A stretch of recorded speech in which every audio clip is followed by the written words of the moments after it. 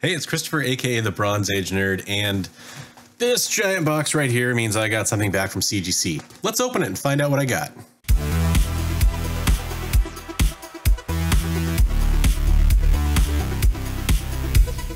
All right, so this is uh, my very first uh, pre-screen that I sent off to CGC. This is a 9.8 pre-screen, which means you had to send in 25 comics. And it's a modern pre-screen. And I have to confess, I know a little bit about this. I wanted to do this like the blind CGC unboxing style, um, but I did see part of the invoice for this, and I'm pretty sure I did pretty well. Um, which this is a big heavy box that tells you that you probably did pretty well. Um, so that's that's totally fine. Um, but my goal here was to try to go for 15 out of 25 getting encapsulated. If you're not familiar with how a CGC pre-screen works, um, there's a minimum of 25 comics you have to send in, and it's um, basically like they look at every single comic book, and if they think that it's a 9.8 or above, they grade it and encapsulate it. If it's not, they reject it and they charge you a small fee for for looking at it, but you don't have to pay for the entire encapsulation. So this is good if you want to send in something and you only want to get 9.8s back. Uh, however, it's worth noting you can actually do this for any grade. Like you could say, I only want 9 O's back or whatever. That's that's totally fine. Okay, so I know I didn't go perfect, even though this is a pretty full looking box, um, because I do have a raw books inside envelope here. So uh, at least one comic book did not come back encapsulated. All right, so there's no need to hide these and, and show you the, the blind grades. I know they're at least 9.8 or above. Um, let's start on the right here. And first we have uh, Wonder Woman Annual number four. And this is kind of sort of the first Yara Flor. There were a lot of rumors that there's a, a, a character shown at the end of this that could be Yara Flor. They haven't really confirmed that yet or not, but this book did see a jump because of that. Um, it's worth noting I did submit these back in January, so I've been waiting for these for a while. Everybody knows CGC times are really backed up right now, uh, but back then it was worth a little bit more. All right, that, that one makes me happy. This is uh, Strange Academy for the Nakayama Virgin variant. The magic cover, really cool.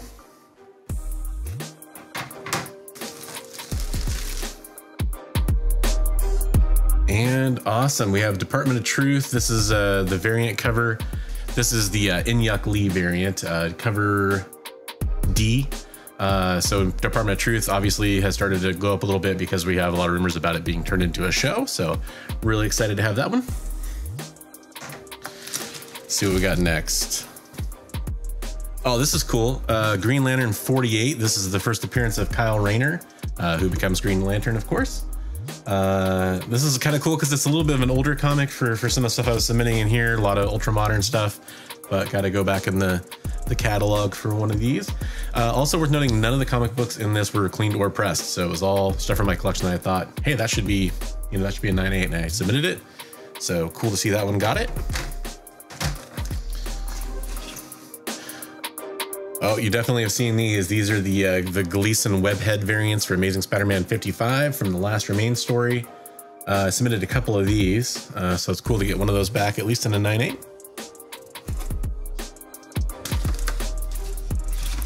And there's the other one. Okay, so two two of those came back. That's cool. Okay, this was pretty cool. This is a, a jock cover for Batman 100. This was um, the MCM Comic Edition, and just thought it was a really cool jock cover there. Uh, the yellow, the black, and the on the white background. Really sweet. Of course, there's a moth in here now.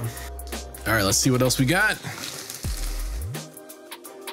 Oh, sweet. This is a, a Daredevil 25, the Unknown Comics Virgin Edition.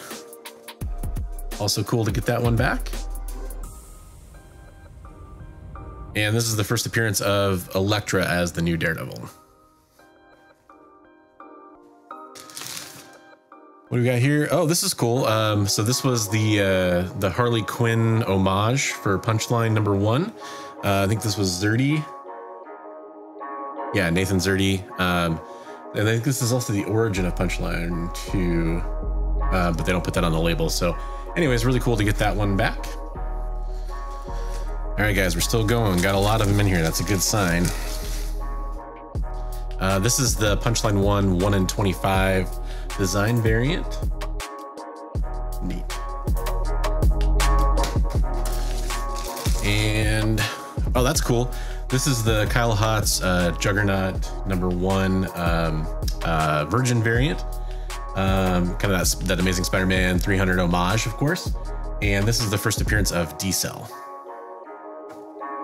What do we got next? Oh yeah, yeah, Gwenom versus Carnage, uh, number one. This is the the Face It Tiger uh, cover, that in the word balloon there. That's pretty cool.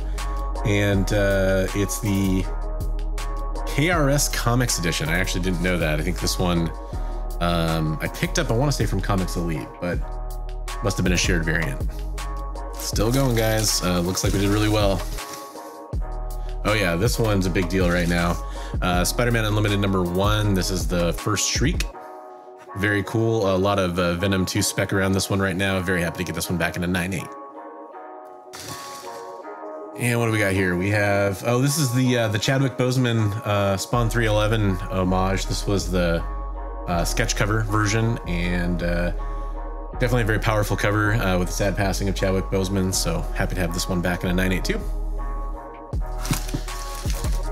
And oh, this is cool. Uh, Snake Eyes Dead Game number two. This is the action figure variant, the convention exclusive. Uh, just really, really awesome. I'm a big Snake Eyes fan, so this is a cool one to get back. I also submitted uh, number one as well. Oh, there we go, number one. Uh, so yeah, I got the matching set now, one and two for Snake Eyes Dead Game, both action figure convention variants.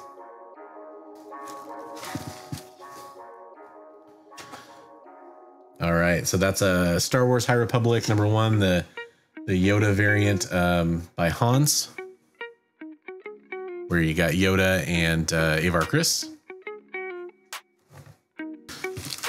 Probably gonna be some more Star Wars High Republic in here. Yep, the A cover. All right, sweet. Another Star Wars High Republic. This is the variant, um, the B cover, basically. So that's cool. Do we get more High Republic? Same back. Yep, another High Republic A cover for number one. And oh, this is cool. This is the one per store uh, X of Swords Creation number one. Uh, that was very cool. This is actually the first appearance of the original Horsemen of Apocalypse too. So if they come back, expect us to see a bit of a bump. Okay, looks like we got three more left. Uh, oh, Venom 29. That's the uh, the black and white uh, null cover there. Two more. All right, Undone by Blood number one. That's really cool. This is going to be a, a, a, Norman Reedus production pretty soon. Very cool. All right, what's the last book in here?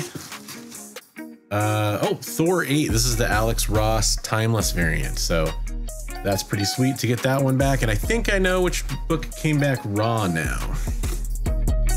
Yep, after a quick count, we are at 24 graded books. I knew it was a lot. That's really good. So that means I went 24 out of 25 on my first CGC pre-screen.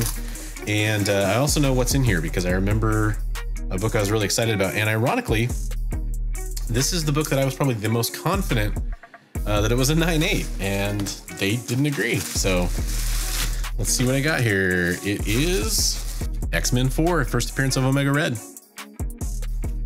So it's definitely interesting. I, I was pretty confident that this was a 9.8. Um, looking at it, um, again, I kind of wonder if maybe one of the corners didn't get a little messed up during shipping. Don't think I'll really be able to show that off very well, but there is a bit of a, a burr on the corner here. Um, but this was a newsstand, so I was pretty excited to see if this came back. I think if it's not a 9.8, I think it's a 9.6, so I might just submit this and see what kind of luck I get on it.